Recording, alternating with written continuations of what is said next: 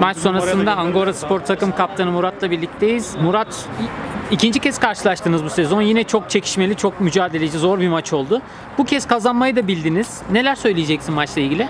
Öncelikle e, Sin City bildiğiniz gibi grubunun lideri ve komplike top oynayan çok iyi bir takım. E, kaptanı da Uğurcan arkadaşımız da gerek e, efendi kişiliğiyle gerek oyunculuğuyla her zaman e, sahada görmek istediğimiz hareketleri e, bize göstermekte.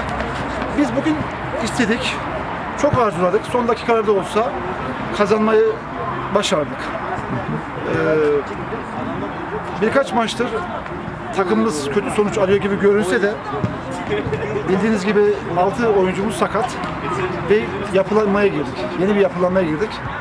İnişli çıkışı grafikler göstereceğiz. Ama playoff'lara en iyi şekilde hazırlanacağımızdan tüm rakiplerimiz emin olsun. Hı hı. Peki ben de onu söyleyecektim. Bu sezon takımda bir değişiklikler var özellikle bu maçta. Son zamanlarda da alınan kötü sonuçlar var.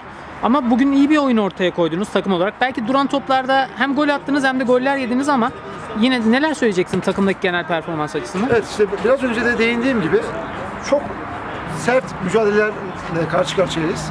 Oyuncularımız sakatlanıyor. Şu anda 6 oyuncumuz yok. En önemlilerinden biri Abdullah yok.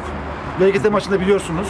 Ee, onun da aramıza gelmesiyle umarım düzeleceğiz ama dediğimiz gibi e, yeni arkadaşlarımız takıma uyum süreci var.